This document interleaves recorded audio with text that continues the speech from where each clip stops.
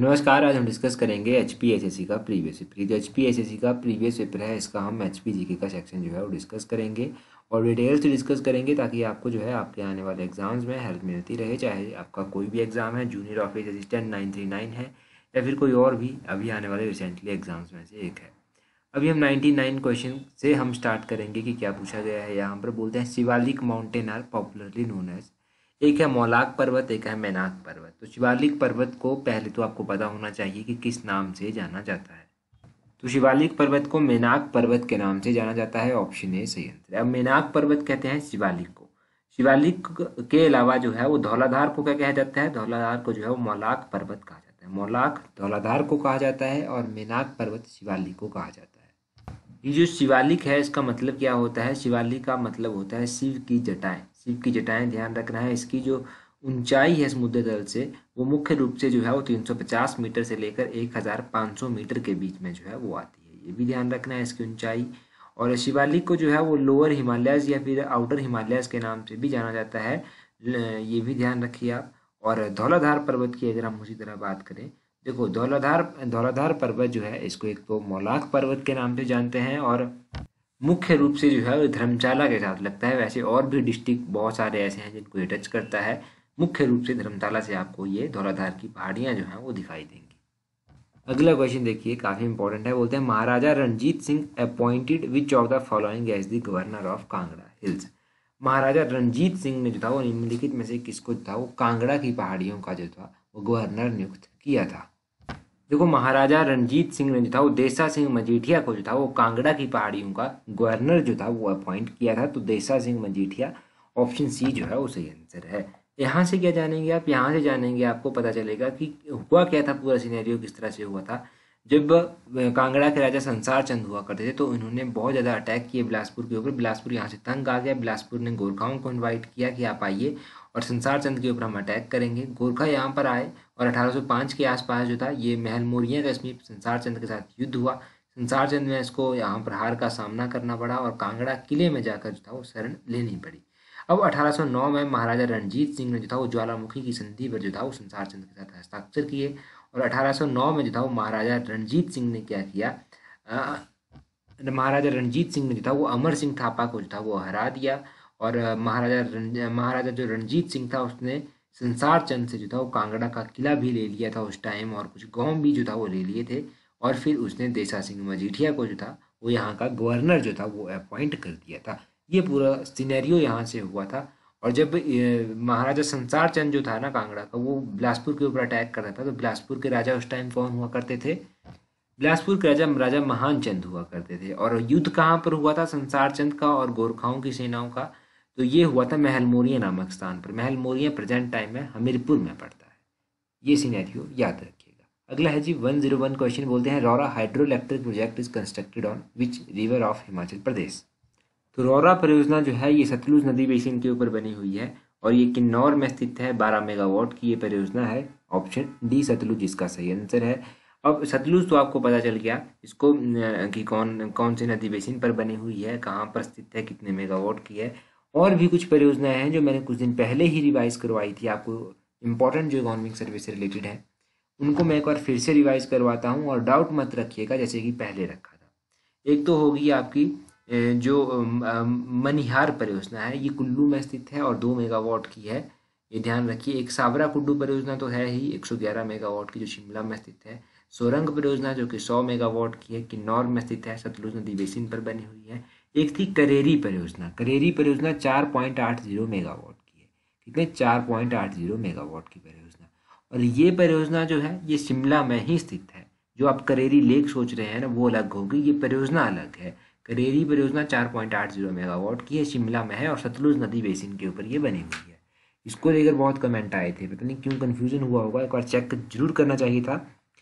और इस परियोजना के बारे में डाउट बिल्कुल भी मत रखिएगा।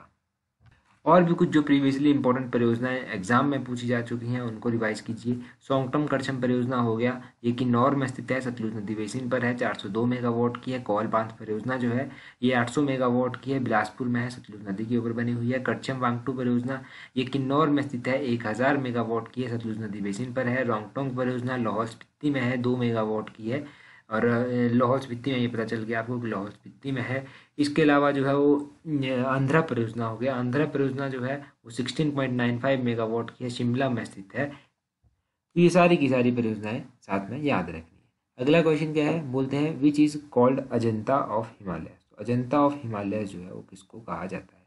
अजंता ऑफ़ हिमालय जो है, वो ताबो मोनेस्ट्री को कहा जाता है। ऑप्शन बी सही है। ताबो को कहा जाता है, अजंता और एलोरा जो है वो मसरूर रॉक का टेंपल जो कि कांगड़ा में स्थित है, उनको कहा जाता है। देखो ये जो ताबो मोनेस्ट्री है, ये भी बहुत इंपॉर्टेंट है। इसको एक तो अजंता कहा जाता है और इस मोनेस्ट्री के बारे में क्वेश्चन पूछ जाता है कि ये कब कंस्ट्रक्ट की गई थी? 996 एडी के राउंड जो था, ये कंस्ट्रक्ट की गई थी नाइन नाइन सिक्स और इसको बने हुए जो था वो नाइनटीन नाइन्टी सिक्स में जो था वो एक हज़ार वर्ष पूरे हो गए थे। उस दौरान यहाँ पर सेलिब्रेशन भी किया गया था। जब नाइनटीन नाइन्टी सिक्स में इसको बने हुए, एक हज़ार वर्ष जो था वो पूरा हो गया था। लाहौल स्पीति डिस्ट्रिक्ट में जो है ये पड़ती है, ये तो आपको पता ही होगा कि जो ताबो मोनेस्ट्री है, कहाँ पर पड़ती है। कुछ और भी मोनेस्ट्रीज मैं आपको बता देता हूँ, जैसे कि कारदंग मोनेस्ट्री हो गया, ये भी लाहौल स्पीति में स्थित है। तायुल मोनेस्ट्री कहाँ पर है, ये भी लाहौल स्पीति में स्थित है। इसके अलावा गुरु घंटाल गोम्पा भी लाहौल स्पीति में स्थित है। गैम्यूर मोनेस्ट्री है, ये भी लाहौल स्पीति में स्थित है।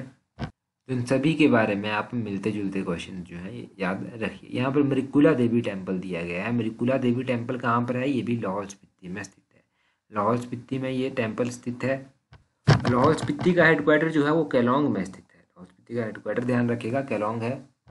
और ये जो गोंदला कैसल है, गोंदला फोर्ट है, ये गोंदला कैसल ये भी लाहौल स्पीति में स्थित है। लाहौल स्पीति का हेडक्वार्टर जो कि कैलोंग है, वहाँ पर कहीं पर ये स्थित है। ये इसके बारे में ध्यान रखिए। आगे बोलते हैं Siul is a tributary of which river of Himachal Pradesh देखो, रावी की सहायक नदी है, ये ऑप्शन है, सही आंसर है। रावी की ज़्यादा सहायक नदियाँ नहीं पूछी गई हैं सियूल ही बहुत बार पूछी गई है। एक बात तो मैं नोटिस हो चुकी है। अगर इसकी और भी सहायक नदियाँ पूछी जाएँ तो सियूल हो गया तंतगिरी हो गया बुधिल हो गया बैरा हो गया साहो हो गया चिड़चुंद नाला हो गया, ये सब इसकी सहायक नदियाँ हैं रावी की।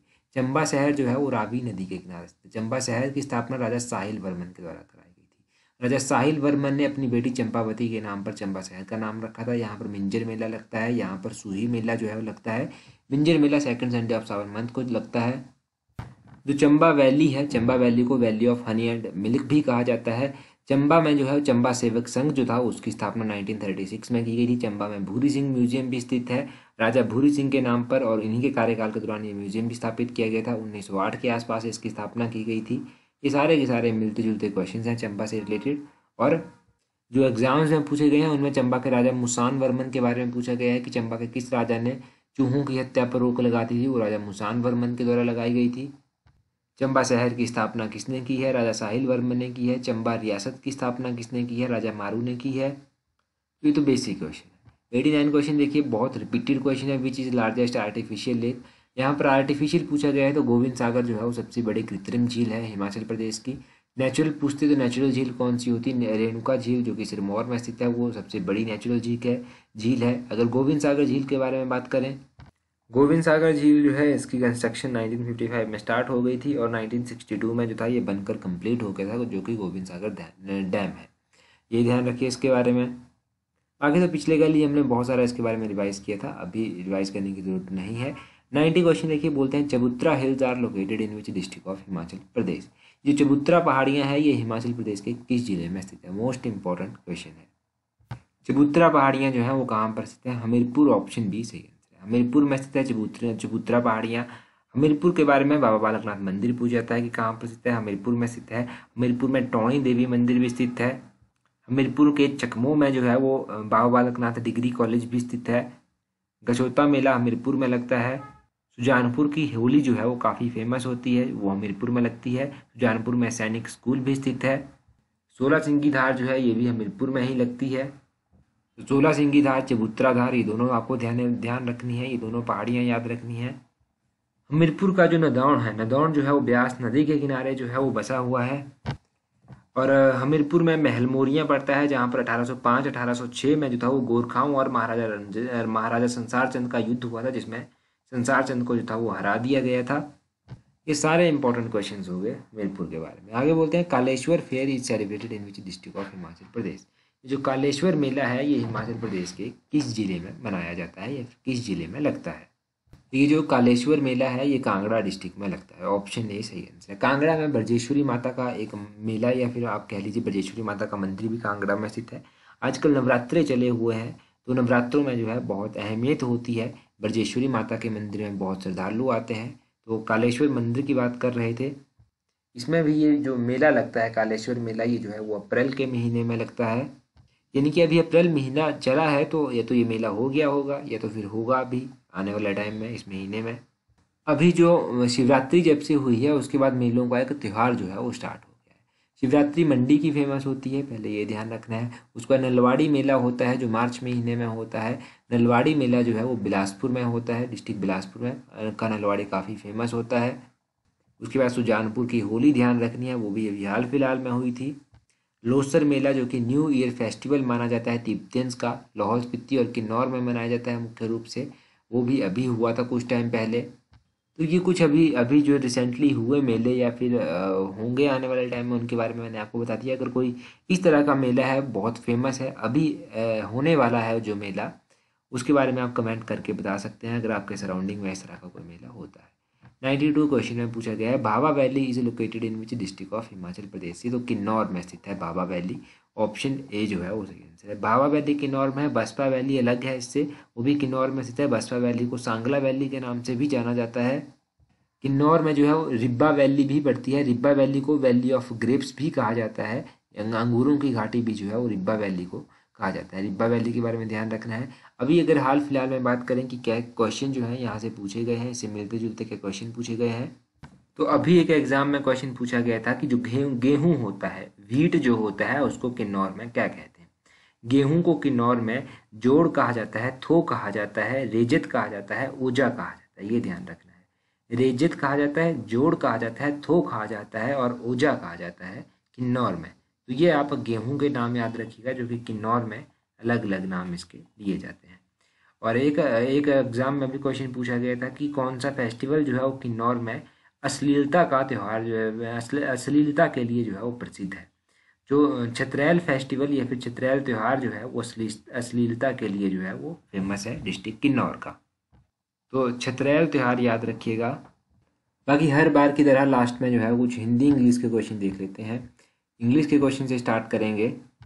उससे पहले अगर आपने अभी तक हमें टेलीग्राम पर ज्वाइन नहीं किया है तो टेलीग्राम पर ज्वाइन कर लें। टेलीग्राम पर ज्वाइन करने के लिए अपने टेलीग्राम से at the rate all exam thirty one कुछ इस तरह से सर्च करें, आपको हमारा टेलीग्राम चैनल जो है वो मिल जाएगा। ठीक है टेलीग्राम पर सर ज्वाइन कर लें। सोलह हज़ार दो तीन सौ से अधिक लोग जुड़ चुके हैं, आप भी जुड़ जाइए। वन सिक्सटी फाइव क्वेश्चन देखते हैं, बोलते हैं mountain tops are covered snow in winter तो इसका होगा वन सिक्सटी फाइव का option D with mountain tops are covered with snow in winter antonym पूछा गया है वेलरस का। शायद ये हमने पहले भी पढ़ा है एंटोनियम वेलरस का एंटोनियम होता है टिमिड, ऑप्शन डी जो है वो सही आंसर है। आगे मीनिंग ऑफ़ ईडियम बोलते हैं to knuckle under. To knuckle under idiom का मतलब क्या होता है? तो वन सिक्सटी सेवन का ऑप्शन बी, टू सबमिट जो है इसका सही मतलब होता है। टू सबमिट इसका सही मतलब होता है। आगे बोलते हैं उर्मी किस तरह से लिखा जाता है? तो उर्मी जो है वो कुछ ऑप्शन सी इस तरह से लिखा जाता है। ध्यान रखिएगा, उर्मी जो है वो ऑप्शन सी कुछ इस तरह से लिखा जाता है। नीडर में कौन सा समाज है? नीडर में आपको समास बताना है। इसमें जो है वो अव्यय भाव समास जो है वो आता है। अव्यय भाव ऑप्शन ये जो है वो सही आंसर है। यथाशक्ति में कौन सा समास आता है? जल्दी से कमेंट करके बता दीजिए। बहुत बार एग्ज़ाम में पूछा गया है। यथाशक्ति। आगे वन सेवेंटी देखिए। बोलते हैं, रिक्त का उपसर्ग है। रिक्त का उपसर्ग बताना है कि क्या है? तो अतिरिक्त जो है इसका उपसर्ग आएगा। ऑप्शन बी अतिरिक्त जो है इसका उपसर्ग है। ध्यान रखिए। तो ये हमने कुछ पाँच सात क्वेश्चन जो है, वो हिंदी इंग्लिश के भी डिस्कस कर लिए, क्योंकि हिंदी इंग्लिश को पैरेलल रूप से रिवाइज करना बहुत इंपॉर्टेंट है। बहुत ज़्यादा वेटेज जो है, इसकी मिलती है। एग्ज़ाम्स में जब एक एक नंबर कम पड़ता है तो हिंदी इंग्लिश ही काम आती है। टेलीग्राम का तो आपको पता चल ही गया है। टेलीग्राम पर जल्दी से ज्वाइन कर लीजिए अगर नहीं किया है, इस तरह से सर्च करना अपने टेलीग्राम से।